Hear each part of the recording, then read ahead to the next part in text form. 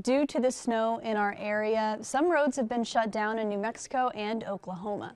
Union County Sheriff's Office says Raton Pass, Highway 87 from Texline to Dalhart, and Highways 56 and 6487 are closed. They ask drivers to please seek an alternate route, and the Cimarron County Sheriff's Office says Highway 287 from Boise City to the Colorado state line is closed.